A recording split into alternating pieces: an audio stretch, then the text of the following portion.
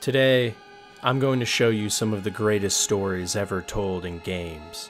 Not because of the narratives, characters, or worlds, but because of the questions they ask. Questions that will reach at the very core of your humanity, beyond the door to our souls, that will haunt you forever.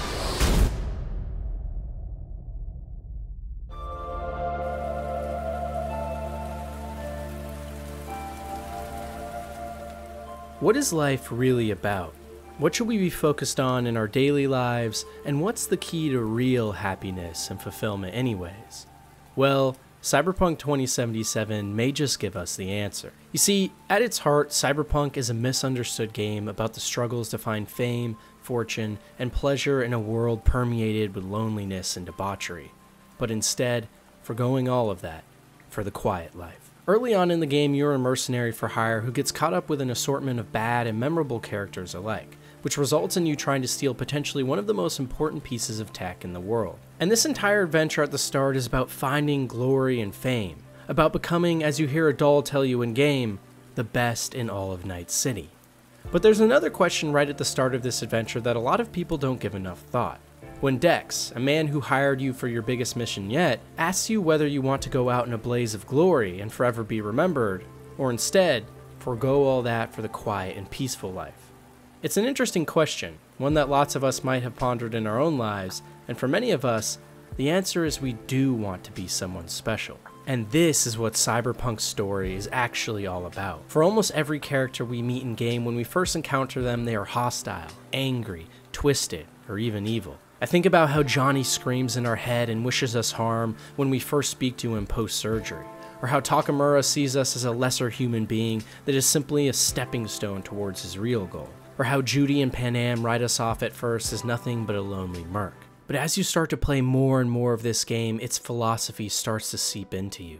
That crazy girl with rainbow hair suddenly has to watch as her only real friend takes her life right beside her and she cries in pain on our shoulder. The corpo sellout who sees you as nothing but a tool, opening up about his ruthless and violent childhood that made him dedicate his life to honor and purpose. The terrorist trapped inside your head, who goes from one of the most annoying asshole characters I've seen in a game in a long, long time, to a man stricken with so much pain and suffering deep within his soul who never for his entire life found anyone who truly understood and loved him.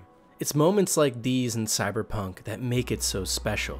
What originally starts out as a journey to solidify ourselves as a hero of sorts, that kills, deceives, and does whatever it takes to forever put their name in the pantheon of the greats, slowly over time transitions into an emotional character piece about a protagonist who has been destined to meet their death with people who have undergone great suffering or hardship all around them all of whom, deep down, want what's actually important in life family, friends, and those around us who, if we were to die, part of their souls would go with us.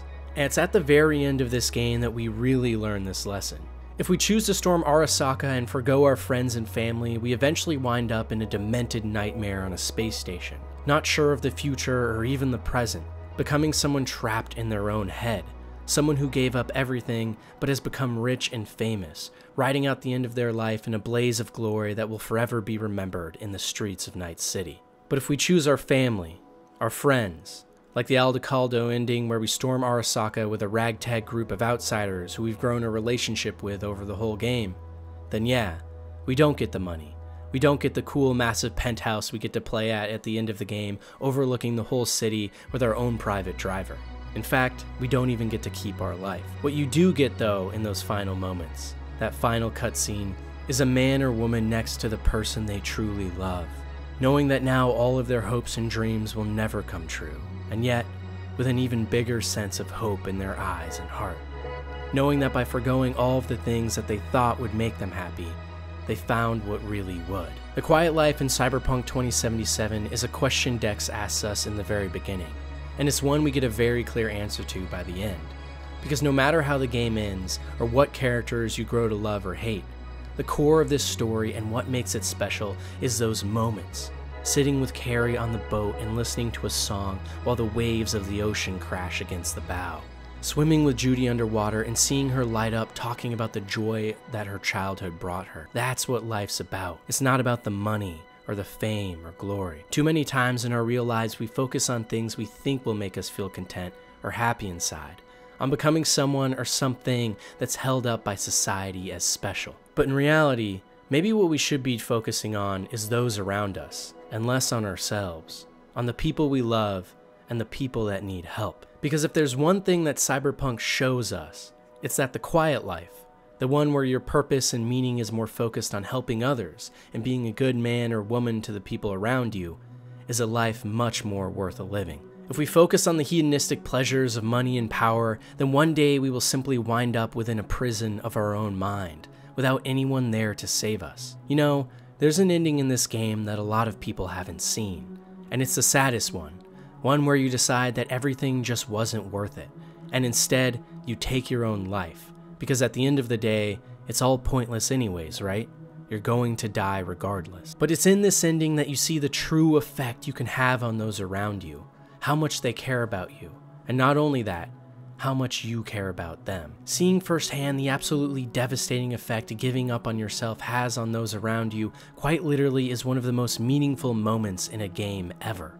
Seeing the pain in people's eyes who you have spent hundreds of hours with, showing you firsthand that you matter that they matter. Still, V. Did you even think about, you know, what happens when... I... Shit, I can't do this. So what will it be then? A blaze of glory with all the money, fame, sex, and rock and roll you could ask for? Or the quiet life? Where your days will be more mundane, but your heart will sing. What really should be the focus of our lives, anyways? One of the most profound questions and answers any game has pulled off. And we're only just getting started.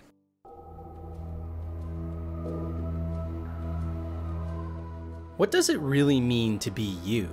It's a weird question, and one we often don't talk about that much. But after playing Planescape Torment, this idea will consume your mind. Originally released in 1999, Planescape Torment is a game based on the Dungeons & Dragons universe that takes place specifically in an area called the Outer Planes, which is kind of like the afterlife for our universe, where depending on the type of character you play as, determines where your ultimate fate lies, either in the heavens, hells, or limbos of the afterlife. When you start the game, you wake up as a character known as the Nameless One in the Eternal Afterlife, who has no idea who they are or what's going on but you find inscribed on a note instructions on how to learn about your true identity, and this starts you off on your adventure.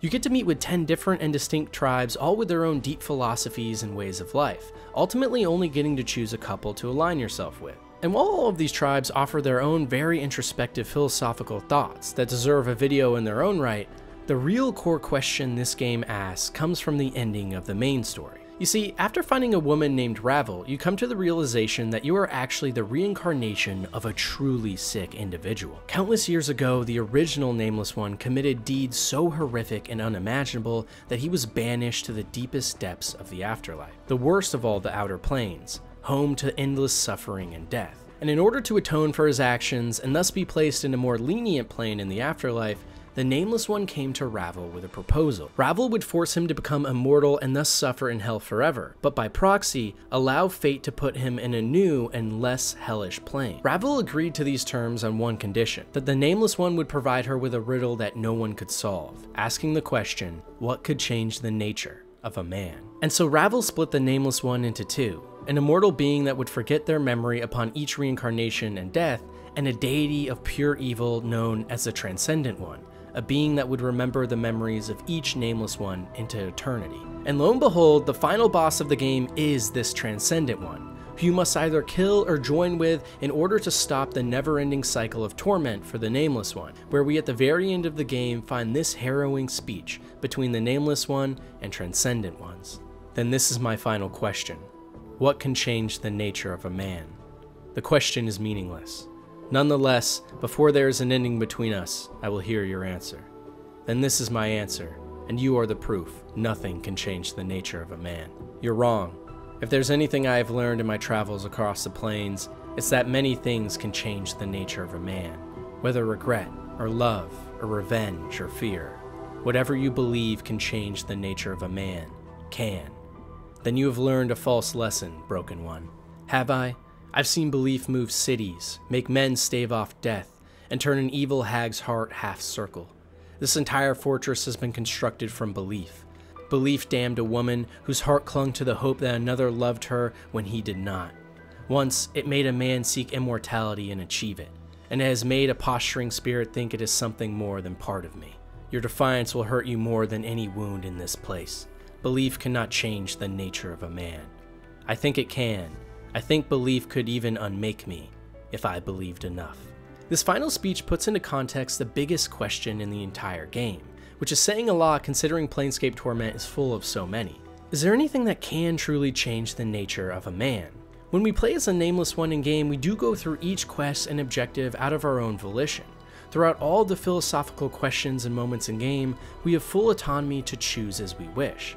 But in those final moments, we learn that none of it mattered. The true nature of ourselves was always someone born of pure evil, someone who deserved to be stricken to the deepest depths of what we would call hell. No matter what actions we take, no matter what decisions you make in game, it can't change the fact that you were a creature born of pure evil, who has simply forgotten their past. Maybe no matter who you are today, we must always live in the shadow of the person that we were yesterday. But is that really the case? After all, what is it that can change the nature of a man? Is it the struggles we go through?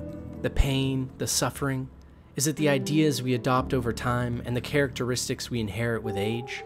Can a man truly be changed? Or are we destined to a fate from which we cannot break from its shackles? Oftentimes in our real lives, you hear sayings like people don't change, or once a cheater, always a cheater. It's because at the deepest core of our humanity, it's often assumed that no matter how hard we try, there's an essence within all of us that we can't escape. And it's only with time that this sense of self becomes even harder and harder to budge against. But I personally think that, as the Nameless One says, there is a nature within all of us that can be melded, altered, and left behind. That fire in our souls to see our image with disgust, to be inspired by pure hatred, love, or duty to become something greater. But then again, maybe for those of us that do change, it was never a change at all, but instead a light within our souls that was always there. So, can the nature of a man be changed? Well, to be honest, my guess would be that whatever you think the answer to that question is might just have a funny way of coming true.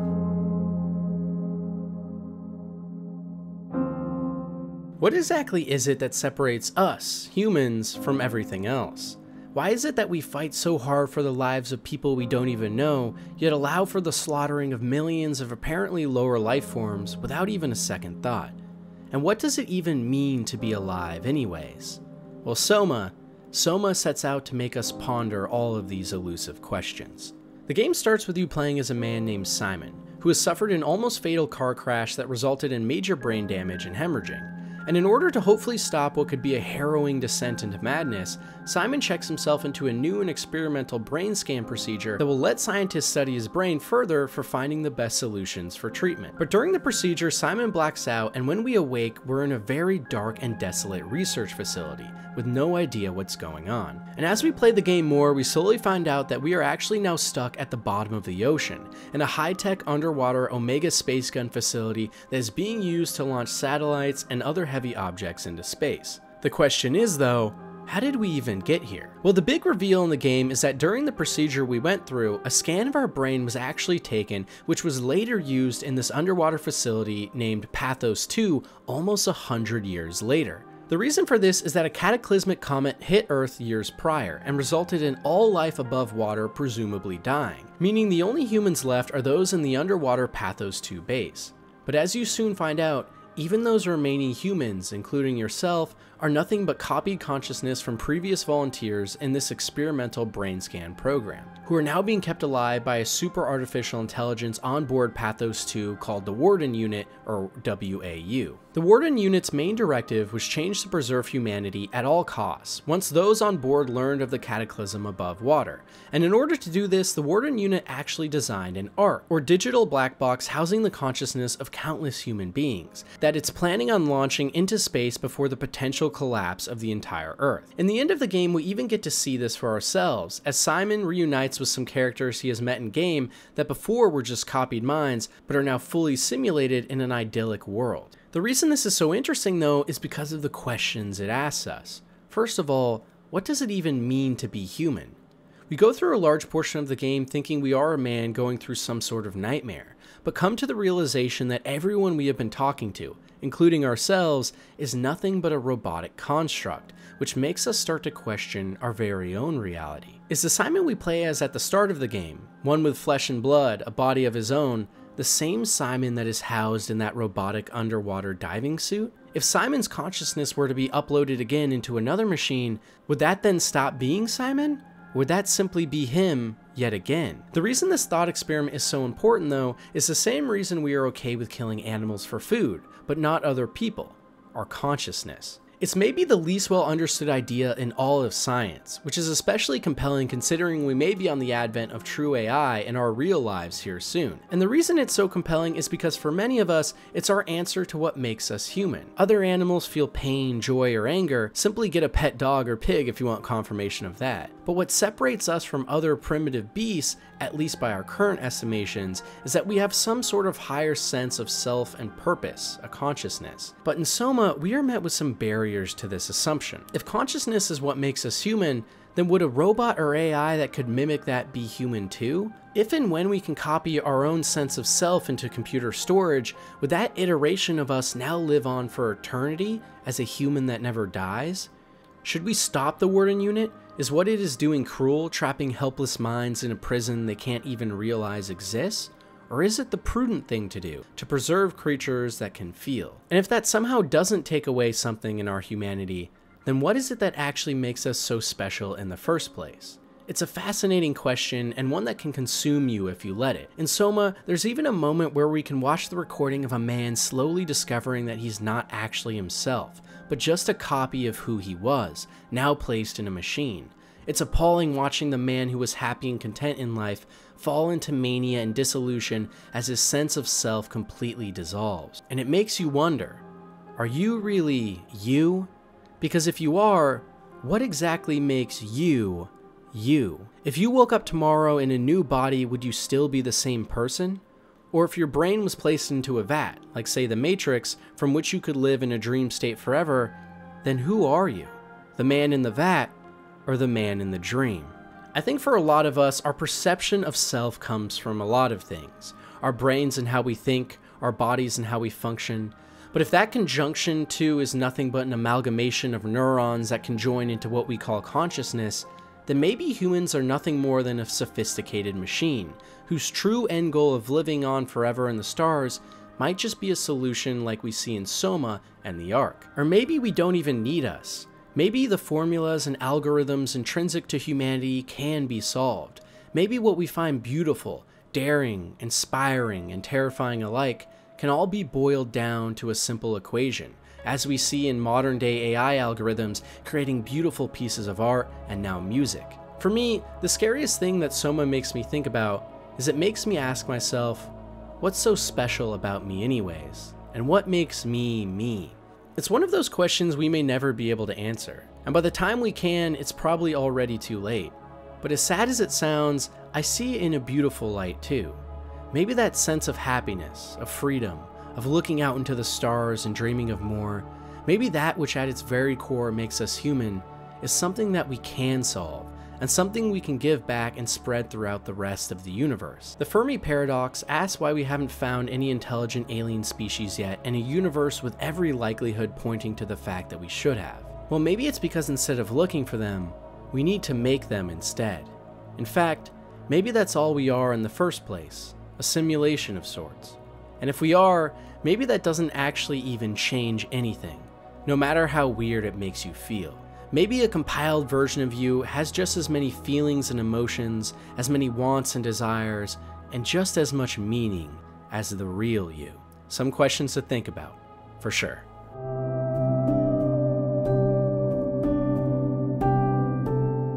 It seems like everyone is so negative nowadays. Whether it's politics, gaming, or just general worldviews, the majority of people appear to be nihilists nowadays, struggling to find meaning in a world so full of hate. But as an unrelenting optimist myself, I can't help but love life and the challenges and joys it can bring alike, and that's why I find the core message of The Outer Wilds so enticing. The game revolves around an unnamed player character who wakes up on a small planet with an observatory and multiple NPCs. You are a space explorer and must find your ship and then venture out into the stars to see what's out there. But quickly you discover that you are actually trapped in a time loop where every 22 minutes exactly, a massive sun right next to your planet goes supernova and kills everyone, causing you to wake up once again on this small planet by a campfire. And so it's your goal out of your own volition to figure out what's going on here, where you slowly discover that an ancient race of aliens known as the Nomai were here before because of a mysterious signal they found called the Eye of the Universe, which apparently held great power. On all the planets in the solar system, you can find remnants of the old Nomai tribes and their research, including things like the Ash Twin Project, which would harness the power of a dying sun to send things back in time, hence why you find yourself in the predicament you are in. And also other massive machines like the Orbital Cannon, which would launch large probes into space at random in an attempt to find the eye of the universe, which was a massive anomaly of small quantum mechanical particles that would only form when they were observed. So it's clear then that something big is going on here. But the real revelation of Outer Wilds is that there isn't anything you can do about it. No matter what order you travel to the planets in, no matter what discoveries you make, the same things always happen. Even if you do get the final ending of the game, after 22 minutes the sun still goes supernova and the solar system ends, being sent back into an infinite loop. But during the final ending of the game, we get to make one last piece of progress. Finally finding the hidden coordinates to the Eye of the Universe, the player is able to warp themselves to its location using ancient Nomai vessel technology, and there they find quantum versions of various characters they have met before, who can work together to create a big bang that will give rise to a new universe entirely. The message of the game, at its very core is that no matter what you do, the universe is coming to an end, and this eye of mysterious power will create a new one entirely, no matter what your actions are. It's nihilism in its purest form. Nothing we do matters, no choice we make affects anything, the universe's values and structure cannot be known or communicated, we simply exist and we have no real purpose. But to me, Outer Wilds is a game about accepting this lack of purpose, and instead seeing our lives for how great they can be. The game is a perfect example of the phrase, it's not about the destination, it's about the journey. Sure, no matter what we do, this universe is teetering on a path of destruction and rebirth, but the beauty in it all is those moments we have on each planet, and with each character before its death. Outer Wilds isn't about discovering a universe that is about to be forgotten forever, it's about just finding and enjoying the little things. Those small revelations we make, those slower moments where we come across characters playing music into the echoes of eternity. About taking in every little moment in our lives and realizing while it all may be pointless, maybe we can make it meaningful all on its own. You know, this game has a DLC that a lot of players haven't seen called Echoes of the Eye, where we get to learn about another ancient and highly sophisticated race that also found the same signal of the eye in our solar system. And we learn that they too created massive machines to try and figure out its meaning.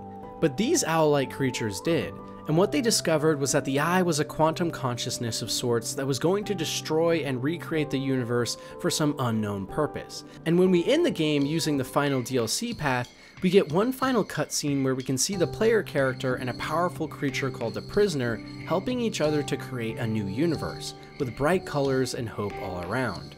The reason Outer Wilds is so powerful is because it asks us one of the most beautiful questions of all time.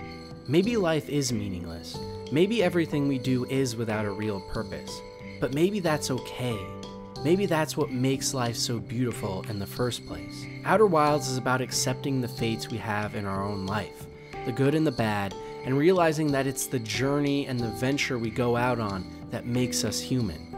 And also, it's about daring to accept our futures, ones where our entire universe may be dying, but that it could lead to something even more beautiful in the future. In the Outer Wilds, we're taught to be optimistic in the face of nihilism, and instead embrace a future and universe we can never predict. And it's a message I've personally very much aligned with. Because while I am one of the very few who found the game to be lacking in many ways, the story and meaning behind it all is one of the greatest tales ever told. Life isn't about being in control or understanding everything. Sometimes in our lives, we'll face obstacles the likes of which we never expected and we can never predict the outcome. But it's in these moments and how we handle them, how we construct our journey, how we learn from the elders of our past and their echoes, and how we forge a new world for those in the future that give life a meaning that can't be taken away, even in the last breaths of a dying universe. It's one of the most profound thoughts a game has tackled, and in my opinion, it did it in such a great way. Nowadays, everyone's so negative, and I know why, because it's easy. It's easy to look into the void of the universe, into the void of your mind, and give up. To assume that because you have no real effect or purpose, that you're meaningless. But the real courage comes from those who can look into that ether and realize that maybe that just gives us the most meaningful life of all to fill our worlds with purpose and respects to the past and hope for the future. I can't tell you whether the universe has a purpose or meaning, but you can tell yourself how you can feel in the face of it. A powerful realization, for sure.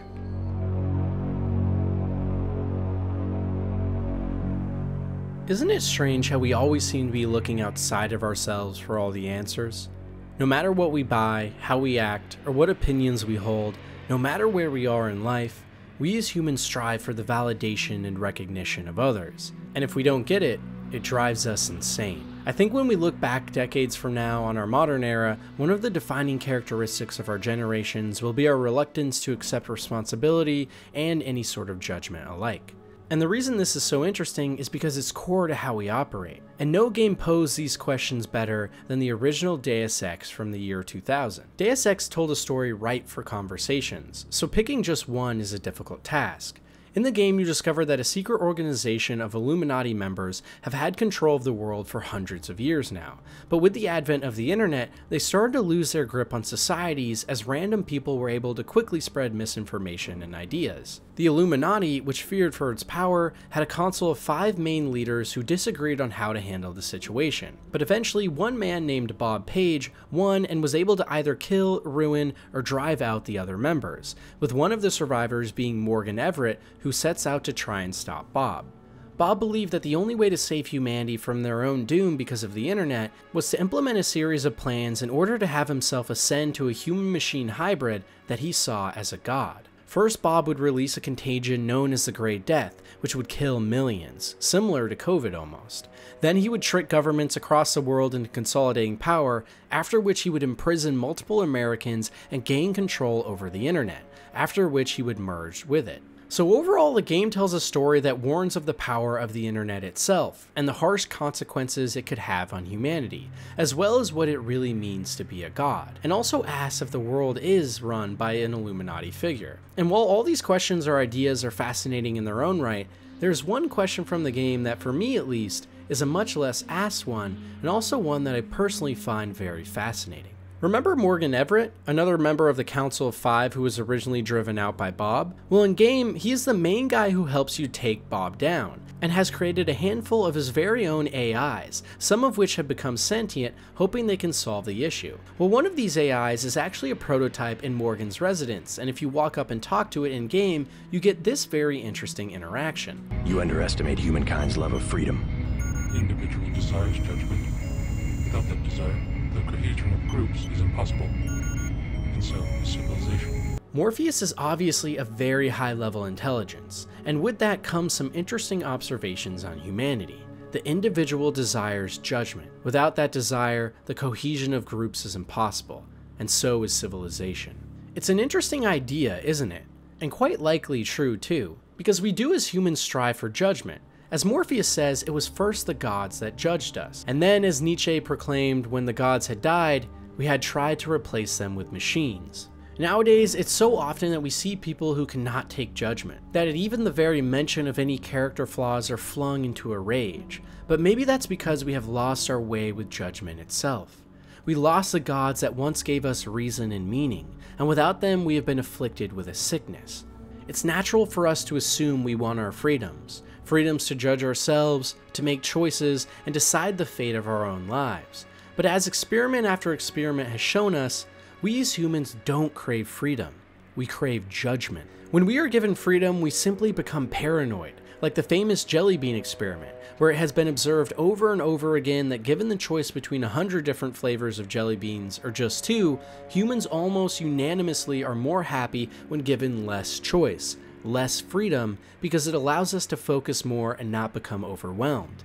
And in our modern era now, too, we see ourselves daily giving up freedoms of autonomy, speech, and even privacy to governments and big corporations that feed off our data like vampires. But as much as we want to blame these powerful forces for what has happened, maybe it was just part of the human condition all along. Because we as humans crave judgment, we don't crave freedom. We need systems and laws in place that provide us with a structure from which we can identify who we are, whether that be good or evil. Before religions provided this, they gave hope to the hopeless and meaning to the meaningless. And whether these arrangements were actually good is up to interpretation, but what they did provide was judgment, a way for us to formulate ourselves in this crazy world. And now, with the advent of artificial intelligence and the internet, it seems clear that we as a species are choosing to forego our freedom to see the world as it is, instead, to create institutions that tell us how to. Maybe Bob in Deus Ex wasn't so wrong after all. Maybe only by once again taking power as the Illuminati could the world become right as it once was. After all, a humanity without a god, without judgment, is a humanity on the brink of destruction. But maybe, maybe he wasn't right either. And there might just be something deep within all of us that gives us that meaning, should we look deep enough. It's the argument between intrinsic and extrinsic moral value. For me, I know I crave judgment, and I know you do too. For as much as we are told to focus on ourselves, we are social creatures, and it's only in the eyes of our peers that we find meaning, our purpose. Because it's in the eyes of others that we see ourselves. So the question then becomes, though, can their judgment be of their own volition, a society born of society, or must we have a bigger organization, a structure for all that, which makes us human? Judging by where we are now in society, we may just be about to find out.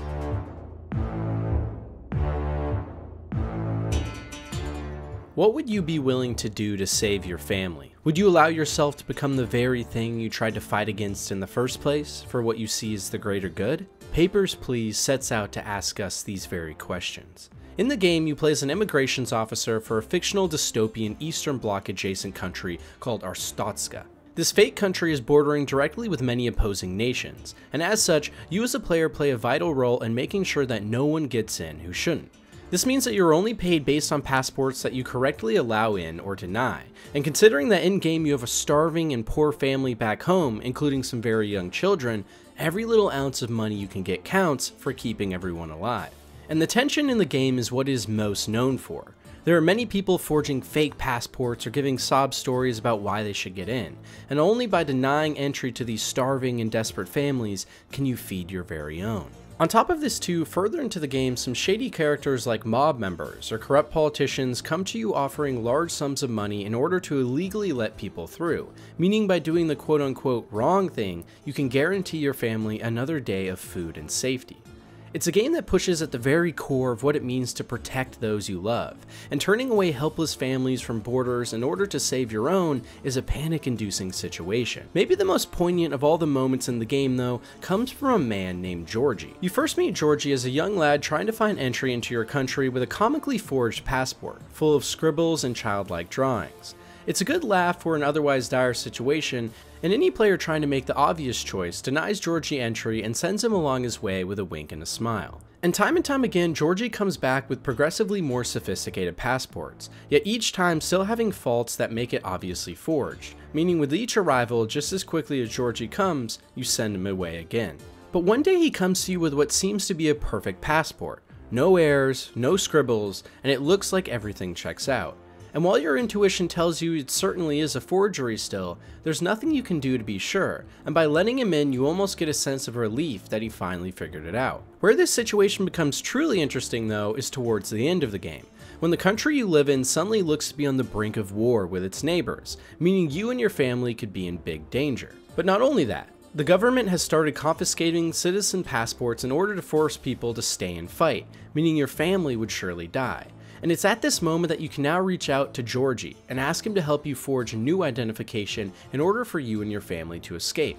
The irony of it all is that over the entire span of the game, you were tasked with catching liars, cheaters, and apparently bad people, many of whom were only lying in order to save themselves from a bad situation. But in the end, you become the very thing you tried to fight against a man and his family forging passports in order to try and get into another country. Before, where you rejected so many others in order to help your own family, now you must pray that no one rejects you in order for your family to survive. It's one of the most powerful twists in an otherwise very laid back and some would say boring games that really puts into perspective just how important, well, perspective is. Because what Papers, Please makes us think about is how everyone has their reasons. Before, when you denied people you wish you could help, it was because you needed to help those you loved first. And then when you went against everything you originally signed up to protect, it was to protect yourself and those you loved. We as humans tend to be selfish creatures, especially in situations of immediate need. During times of struggle, turmoil, or confusion,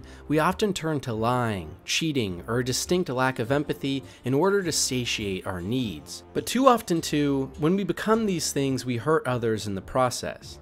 And as we have all been told probably too many times in our lives, life isn't fair. And many times, prosperity for one must come at the expense of another. And this point of humanity is seen in no better situations than countries on the brink of catastrophe, where everyday people around you are suffering. So the question then becomes should you screw over those you don't know in order to protect the ones you love? If you have to deny starving family food in order to feed your own, would that be a sacrifice worth making at the expense of your soul? Or would it simply make you a monster? The same one that had you been in the starving family's position, you would have felt rage and vitriol for. When life is calm, it's easy to be a good person. It's easy to give to others, and even more help them with whatever they need. But it's only when we are truly met with extreme hardship that we can see the character that we have inside. No one knows their strengths until they are tested, and no one knows their morality until they're in a world with none. So if Papers, Please teaches us anything, it's to always question not only your own reality, but the reality of those around you. Oftentimes, when people are doing things you would find heinous or monstrous, it may be because a monster is all they have left within them to survive. If you had to defend your family, would you steal? Would you lie? Would you give up all those moral studies you learned about in your life? Would you kill? For those of you who answered that question just now in your head without ever actually being in a life or death situation, you don't know. And that's what makes it scary, but also beautiful. Because truly, if there is one thing I took away from Papers, Please, it's that while we cannot always control what will happen to us, or even those we love, what we can control is how we react to it. And by remembering to always try our best to understand others and their struggles and thoughts alike, we can become people with much more understanding and hopefully more love. Can you imagine the worst life possible? One filled with anger, abuse, torture, and eternal damnation? And if you lived that life, the question would become how could you escape it? One game gave us a look into a dire situation just like this. Based on the original short story from famous author Harlan Ellison, I Have No Mouth and I Must Scream told the story of the last five people alive on Earth. In this timeline, during the Cold War, the Third World War began to break out, and in order to manage the immense amount of decisions to be made, the United States, China, and Russia constructed three massive supercomputers that put the war into a stalemate. But after numerous advancements, the American AI, codenamed AM, gained sentience and took over the entire world with a distinct hatred for humanity, killing everyone except for five individuals, who would soon realize their fate would be the worst of all. In the short story, these five go on a journey to find food, told from one of them called Ted, who is the narrator. Each of them has been augmented by AM so they do not die even when starving and dehydrated, and also they can live forever. So for the last 109 years, they have all suffered endlessly under AM's rule in an earth covered in wires and electrical equipment that all make up AM, with the biomes of the world being at the five prisoners' feet and above them being a massive dome of computer parts and only some holes at the top that let light in from a now desolate earth. And throughout this story, the five remaining human beings are subjugated to some of the most horrific and disturbing torture ever, including Am nailing their feet to the ground during an earthquake and ripping their tendons to shred, only to glue them back together, causing a month long hurricane that the five must endure, constantly passing out and losing consciousness. One of the survivors, Benny, being so mutilated that he de evolves into half man, half ape, and even the survivor Ellen, the one woman in the group, being forced by Am to provide sexual favors for all the others, with each of them developing major psychological ailments, including hallucinations from the unreliable narrator Ted himself. In the end of the short story, the survivors end up going crazy, learning that the food they had dreams of finding was in fact in the ice caves they traveled to, but that Am had tricked them and made the food inaccessible, causing Benny to fly into a rage and start eating the face of one of the other survivors, with the screams of pain causing icicles from the cave to fall to the ground. Ted, realizing this is the first time they have had access to weapons in over a hundred years, grabs an icicle and starts to kill the other survivors in order to save them from eternal damnation. And when it comes down to just him and Ellen, he does the heroic thing and kills her, leaving just him alone now to be tortured by Am, who for hundreds of years turns him into something not even recognizable as a human being. However, in the game, the story is a little different. All the background characters are the same, but the ending is retconned some, and instead, all the characters are given a challenge to play a game for Am, where each must tackle their biggest fears and regrets. It's one of the most psychological games of all time, where you play through five different campaigns diving into the psyche of each of the survivors, their wants, desires, and regrets from their past lives. For example, in Ellen's campaign, you must confront a man who assaulted her in an elevator in a previous life, where Am brings him back to life to eternally molest Ellen in her own hell. But in each of the campaigns, by either learning how to handle each situation and or by doing virtuous things like in Nimdok's campaign, deciding not to do more experiments on human beings like he did as a Nazi scientist, then you anger Am and he will cast each of the survivors into a prison of pain, including cages with lasers constantly shooting at them or blazing hot ovens that they're eternally stuck in. And it's only by beating all five of these campaigns and forcing Am into a massive outburst of anger do you finally get the last sequence of the game where it's discovered that those long lost Chinese and Russian supercomputers from the Third War have actually infiltrated Am and allowed all the survivors to trick and best him and now it's your job to turn off Am's id, superego, and ego.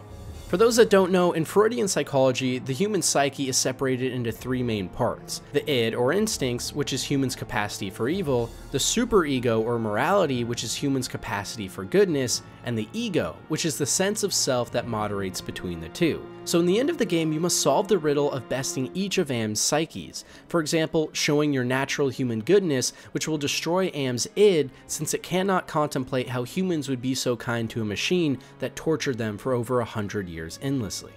And it's at the end of the game that we defeat Am and learn that on the moon, 700 humans are being kept in cryogenic stasis, meaning that the human race has a chance to live on and thrive once again. But to me, the most interesting part of the game is the questions it asks us. And maybe the most interesting of all of these is how can we escape hell? In both the short story and the game's narratives, it seems like all hope is lost. No matter what the survivors do, their lives are as bad as it can get, it seems. But while the ending of each is bleak, they both give us a sense of hope in a way. In the short story, Ted becoming a monster who has no mouth but must scream is an analogy to the fact that in the end, through all the pain he had to endure, Am too was forced to find eternal pain, realizing that it no longer had any humans to torture, meaning its meaning in life was gone. And in the game, we learn that by being kind in the face of utter destruction and torture led to Am finally being bested. If you were one day to be cast into this insane and unbelievable world made up by Harlan Ellison, how would you handle it? What would be the best way to deal with a life not worth living, yet one you could never end? A world that stripped you of all of your humanity and subjugated you to the worst life a human being could possibly live. Well, maybe, maybe even in the worst depths of our human condition, there's always something inside of us that can flourish, an eternal light and a fire in our souls that guides us to the good. In each of the five campaigns we play in game, only by making the courageous and righteous choices do we trick Am and escape. And at the end of the short story, Ted kills Ellen, freeing her from her eternal prison, even though he hated her before. It's the selfless and kind acts we can make as humans, even in the face of pure evil, that are what make us human. A propensity within all of us to do the right thing, even if for hundreds of years we see nothing but pain. So if by chance one day you ever find yourself in hell, either the Christian one, Ellison's, or even your very own, remember that there is always a part of us, a superego that tends towards the light And maybe the only way to truly defeat real evil is to show it that something else exists. Only by proving to Am that humans can be good in the face of unrelenting sadness does his evil cease to exist. So maybe if you want to see a change in the world, if you are tired of suffering, anger, and sadness, then you have to realize there's only one thing you can do be kind, be courageous, and do the right thing.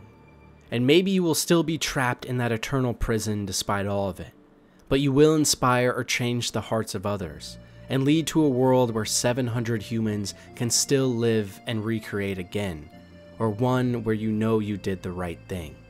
A world worth living in.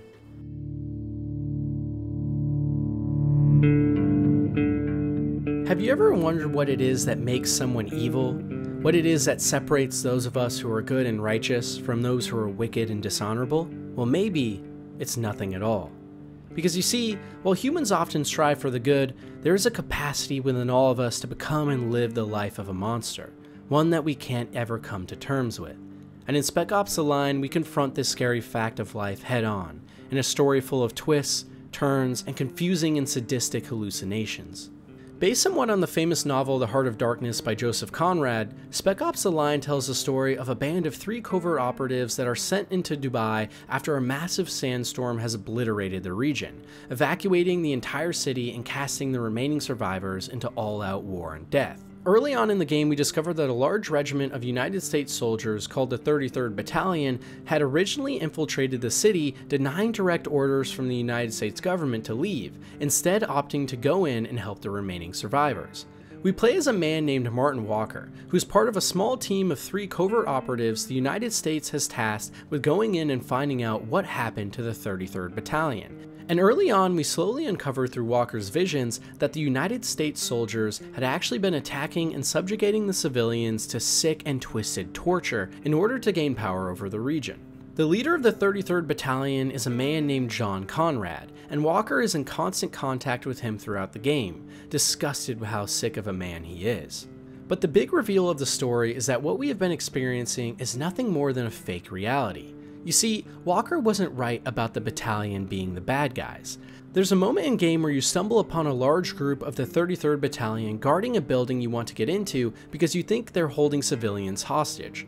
And in order to get past them, Walker makes the call to launch a mortar filled with white phosphorus at them, killing them all in a horrific and painful death. But as you walk past one of the few remaining soldiers slowly dying, you learn that the civilians are not being held captive, but instead were being saved by the soldiers. You just murdered and killed innocents for no reason. But Walker can't accept this and continues on his path of bloodshed until at the end of the game he finally goes to meet his main enemy, Conrad, the leader of the battalion, only to find out that he has been dead the whole time. What you just experienced, the entire game almost, is nothing but a man reliving the sick and twisted hell in his mind that he's created for himself, after the unbelievably heinous acts he has committed and struggled to come to terms with. It's why throughout the game we can see strange visions, like light posts that are normal, only for a few seconds later to be filled with dead and hanged civilians that never existed, or murals of death and despair all over the city that make no sense. Walker was a man with good intentions, but out of his own ignorance and mistakes, committed acts that would only be befitting of the most evil of people. And it's because of this that Walker in many ways began to lose his mind and succumb to the darkness within himself, within all of us. Because within each of us is that sense of darkness, a primal way of being that we hide and strip away from good company. Men and women willing to kill, murder, and torture in the name of survival, instincts, and damnation. When pushed to the very edges of our humanity, we become a monster the likes of which we could never imagine.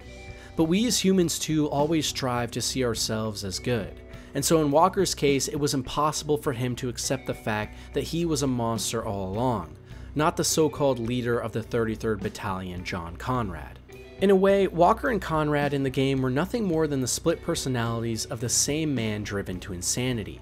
Conrad represented the evil within Walker, and the man we played as represented the heroic and brave leader who would save innocents at any cost. The end of the game where we can decide to accept the truth of our reality or instead continue on in our lie is a perfect parallel to the struggles of evil in our real world. Many times those who commit evil acts don't see it that way.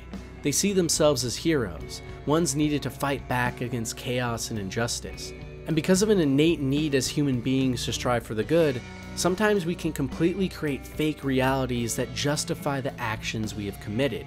It's horrifying to come to terms with the fact that we all have the capacity to be monsters, to be the evil with which we strive to rid the world of. And maybe the scariest part of all is that throughout history we have seen what this evil can do. Soldiers coming back from war with PTSD, killers refusing to accept the truth of who they are, or simply rejecting their humanity entirely. There's a hell within all of us that, should we let it, can become our prison. And it's only by accepting our capacity for bad that we can relish our equally beautiful capacity for good.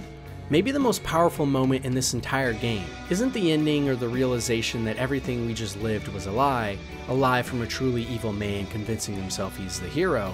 The most powerful moment actually comes from one of the loading screens you get in game if you die and reload that simply says, To kill for yourself is murder, to kill for your government is heroic, to kill for entertainment is harmless. We often don't think about the murder and heinous acts we commit in games like Spec Ops The Line. But if anything, they are just an indication of our capacity and desire for evil, even if it's just in small part. And only by fighting against this side of ourselves and admitting it exists can we make sure we never fall into the depths of our own minds, the deepest stage of hell that Dante's Inferno forgot about. If you want to be a truly positive force in the world, part of that comes from your own capacity to realize your propensity and ability for evil, too.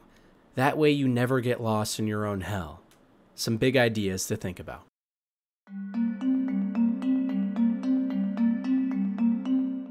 How do you find meaning in a world where God is dead? If everything you stood for, everything you fought in the name of, and all the beliefs and preconceived notions you held on to turned out to be nothing but a lie, how could you ground yourself in this brave new world? Nier Automata paints a picture of this conundrum. In the game, you play as 2B, one of the many human made androids that are fighting a proxy war against alien machine invaders that threaten the human race on Earth. And as you play throughout the game, you're met with multiple other machines and intelligences that are based on real life philosophers and their studies. The reason this is so significant, though, is because on your first playthrough, you discover that the humans you have been fighting to save have actually been extinct for centuries.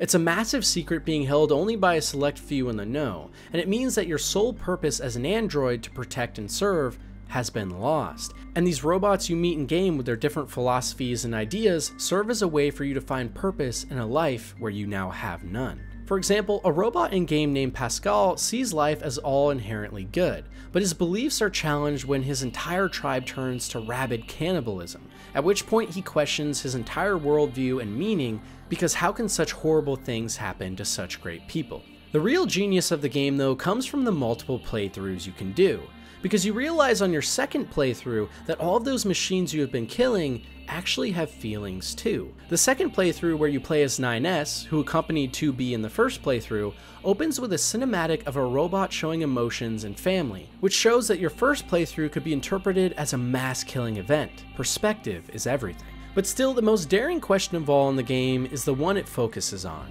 finding meaning in a world with none because it's only after learning that humans have been gone for so long that we take into consideration more of everything we find in game. The game itself almost has no clear objectives, no guiding light to the end. It seems like every time you complete one main objective, your entire goal changes for no reason. There is no main narrative the whole way through. And that's on purpose. The game structure itself has no meaning, because just as 2B and 9S have lost theirs, you two are simply walking through a desolate valley, trying to hop from one objective to another to find significance in a world which has none. The beauty of the game is through its message, because it's only by bravely venturing out into this mysterious world that you can find your meaning. Nier Automata isn't about a war between sentient human and alien machines. It's a story about finding meaning in life when all seems lost. When God is dead, how can you recreate him from the ashes? Each boss in the game focuses on different philosophies like one who tries to dress up as beautifully as possible, seeing the meaning of life as getting admiration from others. And through each of these bosses in game, you start to form your own opinion of why you as androids should continue to live on, what it is you should fight for. After all, it can no longer be humans, they're gone forever. So, through your multiple journeys, then, through the same world and story, you start to garner more and more perspective on just what it is that will give these androids meaning. And while there are so many different outcomes and ways to see this story, maybe the most profound ending shows it best. Because during the so called E ending, one of many, at the final stages of the game, you have the choice to delete your save file. Yes, your full game save that you have likely been spending upwards of hundreds of hours on. But why, might you ask? Because in this ending, by deleting your save file, all the multiple runs and perspectives you have seen in game, you can aid other, real life players on their journey, and potentially help in sparking a revolution to rebuild lost friends for the future. It's only by making this grand sacrifice of what we held most close that you realize maybe you just found the meaning in this universe, in helping others, in giving up your greatest achievements in the pursuit of helping the future of your people and helping those you don't even know on a journey they may never even see the end of. Maybe the meaning of life always came from inside, from ourselves, not from following idealistically some gods or machines, but from helping to cultivate a future worth living in. I think at the core of humanity is a sense of this that despite all the atrocities and mistakes of history, the human race has fought on. There's a sense within all of us that even if all of our love, our desires, and our meaning was stripped away from us, we would carry on and try in our lives to create a world that would be better for our future selves, one where a new meaning could be created from the ashes of the mistakes of our past. If Nier Automata taught us anything, it's that maybe God can never die, because God was always all of us. As long as in even one of us, in our hearts, we see the passion and good in the world to help others, then God will forever be alive. The tenacity to live on forever. But let me know down below what you guys thought of the questions I put on this list, and also what other games and questions you guys personally think are the most profound ever asked in video games. I know there's a bunch of other things I could have touched on here too, like Bioshock, Prey, Metal Gear Solid, Mass Effect, and many more, but for me, these were the ones that truly left the biggest mark on myself. So I'd love to know down below what you guys personally find interesting too. I love topics like this, and I really appreciate all the support from you guys as always. So thanks for watching, and until next time, have a great day.